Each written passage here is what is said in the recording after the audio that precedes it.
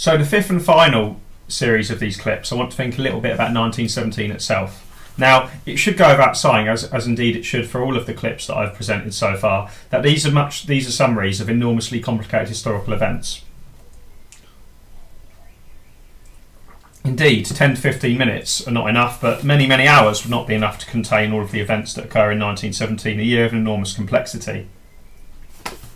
Just to give you some of the brief highlights then in this clip thinking in connection to some of those issues that I mentioned in the last clip on the war, it's the war of 1914-17. So on the 23rd of February 1917, International Women's Day, thousands of women textile workers and housewives took to the streets of Petrograd to protest at a bread shortage. Again here we have a, a food crisis and deprivation being really important to what occurs. This was an enormous demonstration, one that was largely spontaneous in character. In fact, it's the start of a political process that will lead to the abdication of the Tsar, which is something that not many people at the time had expected. By the following day, there were around 200,000 strikers taking symbolic control of the capital. Students and members of the middle classes joined the crowd soon after in late February, many of them bearing red flags and singing the Marseillaise.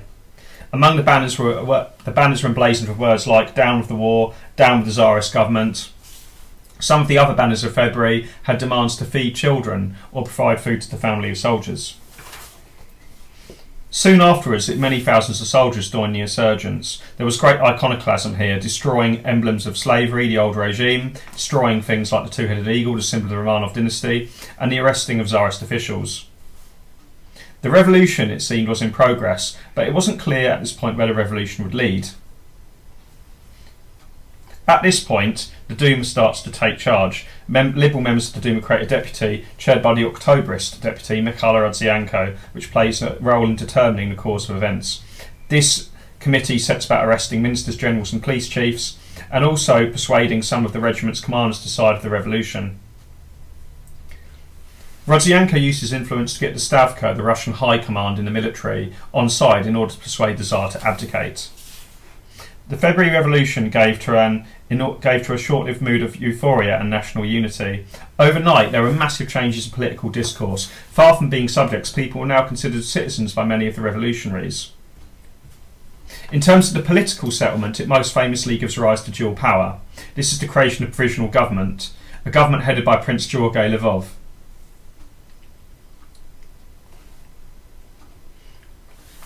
The government on the 2nd of March pledged a programme of far reaching civil and political rights and to convoke what they called a constituent assembly.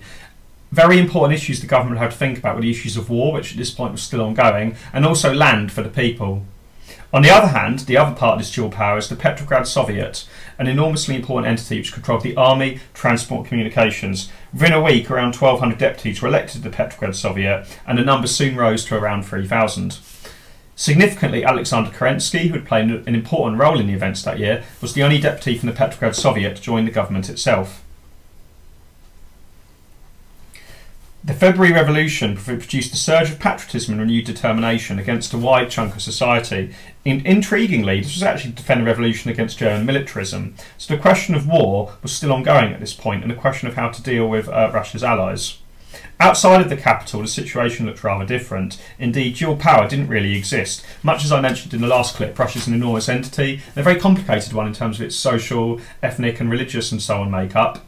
It wasn't always clear that people would be able to be keyed into these processes of dual power that are being made in, in the uh, major cities. During the spring of 1917, many more Soviets sprang up. These played an important role in what was to come.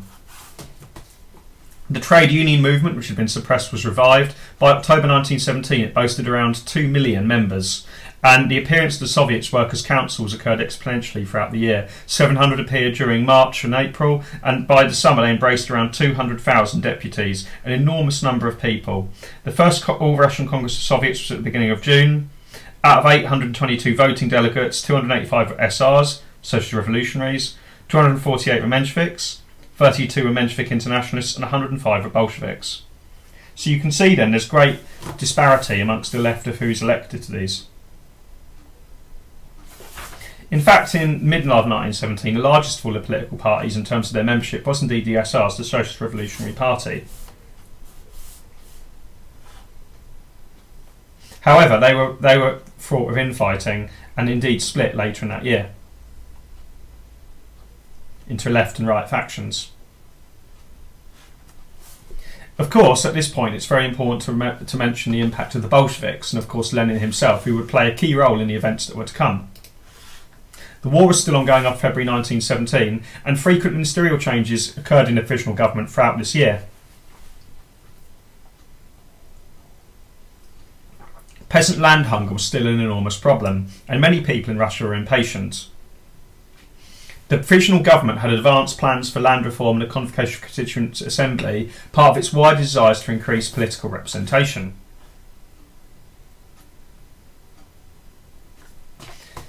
In the 3rd of April of 1917, Lenin returns after 16 years in exile. The left-wing Menshevik Nikolai Sukhanov described his arrival at the Finland station in Petrograd, St. Petersburg, as as follows. He wore a round cap, his face looked frozen, and there was a magnificent bouquet in his hands. Lenin stood there as though nothing taking place had the slightest connection with him, looking about him, and then, turning away from the executive committee delegation altogether, he made this reply Dear comrades, the piratical imperialist war is the beginning of the civil war throughout Europe. The hour is not far distant when the people will turn their arms against their own capitalist exploiters. The worldwide socialist revolution has already dawned. Now, it's important at this point to stress that Bolshevism was much broader than just the views of its leader, and Lenin really only represents one particular strand. But it's important also to stress Lenin was the figure in the party even at this stage, and he stamped his views on it. He had enormous intellectual abilities, he had tremendous industry, he was extremely self disciplined and confident, and in addition to all of that, he was incredibly intolerant of all sorts of political opponents. So Lenin's plans played a great role in what was to come. He sought an immediate end to what he called the imperialist war, and he called for an end to what he termed revolutionary defensism. On the 3rd of July 1917, something very famous happens, the so called July Days. This is a very important part of 1917.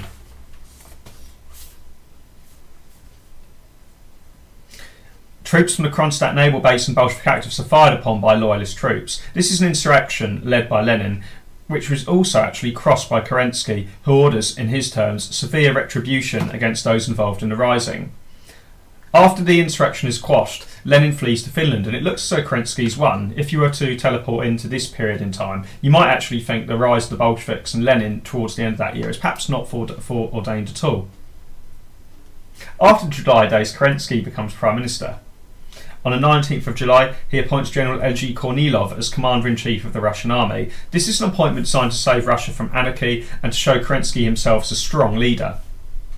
But on the 26th of August, Kerensky lashes out after receiving an ultimatum which asks that military and civil authority be placed in the hands of the Supreme Commander. This is something that becomes known as the Kornilov Affair. Kerensky accuses Kornilov of conspiring to overthrow the government. Kornilov is then relieved of his duties, but appears to ignore the commands and advances on Petrograd. This is something that's very controversial in the scholarship, and historians dispute whether Kornilov was conspiring to overthrow the government or not. Kerensky needed to call on the Soviets to stop Kornilov, showing at this point his uh, his uh, reliance on the Soviets as important um, bodies in the country. We should also think about, I think, at this time, the wider situation that's occurring. The key issues for the peasantry, the vast majority of people in the country, had remained the land question, but also the war. The food, food became an enormous problem. Many, much of the harvest was now being sold on the market. The government tried to tried to respond by introducing a state monopoly on grain, but its attempts to force peasants to sell their grain at prices provoked them to conceal stocks or turn it into alcohol. An enormous food crisis was now looming, especially in Petrograd.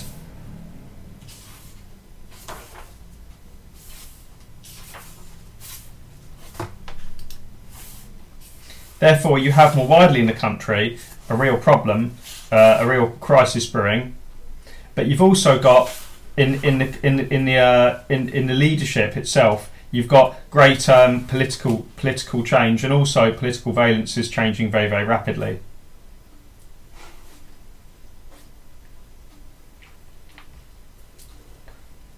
Bolsheviks proved quite adept at sloganeering people's popular concerns.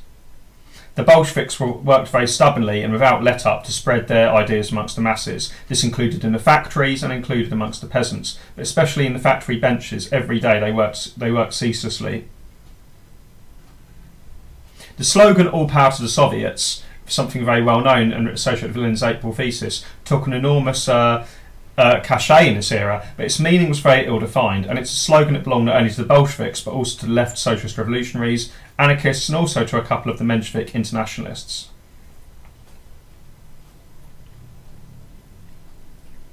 In the context of growing support for the Bolsheviks, Lenin concluded that internationally as well as nationally, the time had become right for them to seize power. He blitzed the Central Committee with demands that it prepare an insurrection, even threatening to resign when he suggests that history will not forgive us if this opportunity to take action is missed. Lenin then returns from Finland. Later on, in November, he persuades the Bolshevik Central Committee to commit to the overthrow of the provisional government.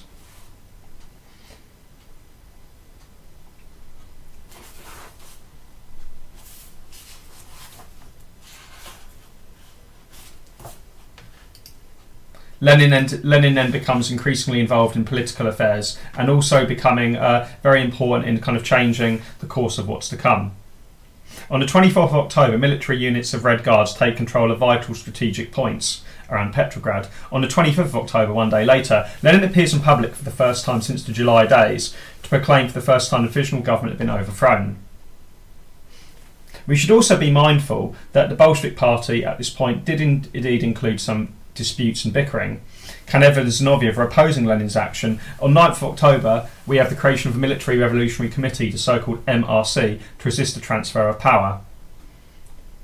On the 23rd to 24th of October, Kerensky moves against the Bolshevik printing press as a prelude to shutting down this MRC, which gives some of the other leading Bolsheviks, including Trotsky, the pretext to strike back. Kerensky then took steps to strengthen his forces. He ordered garrison units not to move without permission on the 23rd of October to only obey orders signed by the committee.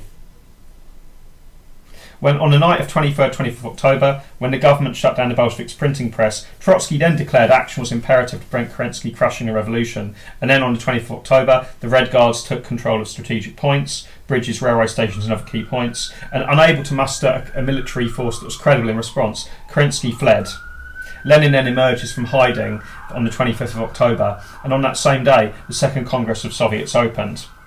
On the night of the 25th of October, the Winter Palace was, was stormed, and the Bolshevik government, and the provisional government, I should say, was arrested. The Second Congress of Soviets then opens on the 25th. About 300 out of the 650 670 deputies were Bolsheviks, and so ratification seizure of power to rely on the support of the 80 25 left SRs. The Mensheviks and the SRs denounced the the government's declaration of civil war and demonstratively walked out of this. Trotsky responded to his famous quip, Go where you ought to be, into the dustbin of history. In Moscow, the Bolsheviks had made no preparations for the seizure of power, not setting up a military revolution committee, nor strengthening the factory based Red Guard, their army. The command of the military district instead put up spirited opposition when Soviet powers declared on the 25th of October. The seizure of power is something that's really vexed and interested historians for many reasons, often presented as a conspiratorial coup against the democratic government. It is indeed noteworthy, though, that the government didn't really have too many supporters. Few military officers came to its aid. Many despised Kerensky for what they saw as a betrayal of Kornilov, and the coup would not have taken place had it not been for Lenin and his consistent urging in the Bolshevik Party to strike when the time was right. Thanks to the decision of the moderate socialists to postpone the Second Congress, his plans to present the latter with a fait accompli was achieved. But the insurrection and its execution was entirely the work of Trotsky. This was something that was actually disguised as a defensive operation to preserve the garrison and the Petrograd Soviet against what he called the counter revolutionary machinations of the provisional government.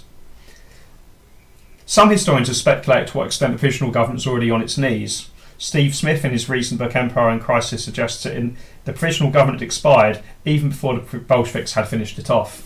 An interesting conclusion there to think about we think about the trajectories and the uh, the uh, influences behind the seizure of power in October, November 1917. Now, I think at this point it's worth just stressing a few things quite quickly. By this point, of course, the Bolsheviks had taken had taken power but it wasn't clear that the revolution itself had been achieved. In fact, actually, 1917, you might think, was in fact the uh, a step rather than the, the final point on the revolutionary path in Russia. It's indeed followed by a very brutal civil war that goes on for several years. The Bolsheviks, unlike some of their rivals, sought an end to the war, but the peace that follows at Brest-Litovsk in 1918 was very, very punitive, and they inherited a country with enormous demographic problems. After 1917, we have population decrease as a result of the war and ongoing crises, famine, disease, and starvation. Soviet power was established very quickly in the capitals, especially Petrograd, but it's a different story in the countryside where resistance goes on for some years. Peter Holquist, a very significant historian, is one of several who's considered the the impact of the of the violence and the death of this period. He he calls it in a very influential phrasing an epoch of violence. During the Civil War, the Bolshevik Party starts to change exponentially. It expands hugely in terms of membership and in terms of state power. This is also the period in which the Cheka is established, the secret police, in December of 1917. Now, to talk in much more depth about the Civil War, I think would in, would uh, may mean I have to do another recording simply because the Civil War is such an important and indeed complicated event. So what I'm going to do now is just kind of throw out there for you a few questions to think about when you think about the revolution. Firstly, we might think about the views of Russian history. Was Russia moving towards a rule of law system for 1914, or was it becoming a police state? We might think about the trajectory in Russia in the longer term, thinking about some of those social changes I mentioned in the, in the preceding two clips. We might also think at this point about the War of 1914 and where this fits into all of it. Did the war in 1914 cause the revolution, or was social unrest coming anyway at some stage? We might think about the historiography, the historical writing too, and splitting historians and others into camps. Into, in some, some might see optimistic views of the old regime, thinking Tsarism had a potentiality to change, but we might also think of pessimists, people who thought the revolution was coming. It's just a question of when. These different views of Russian history and interpretations that come are one of the reasons why the subject that I'm talking about today is such a rich and interesting one for us all to think about. There are, of course, many, many different writings on the, on the revolution that are extremely important. Uh, the centenary of the revolution occurred, of course, in 2017, only several years ago, and it unleashed a torrent of various historical writings, a slew of new books and indeed other types of materials. Just to mention a few of those that have really informed this series of recordings. One of them is Steve A. Smith's recent book, Russia in Revolution and Empire in Crisis, 1890 to 1928. Other interpretations that, have informed my own view very much are Sheila Fitzpatrick, The Russian Revolution, available in several editions, Rex A. Wade's book, Russian Revolution, available in several editions, and indeed very recently too, Mark D. Steinberg's book, Russia, The Russian Revolution, 1905 to 1921. But there are many, many others I could indeed cite here that are extremely important. At this stage, I am indeed going to stop, and I hope you have enjoyed that little snippet of Russian history.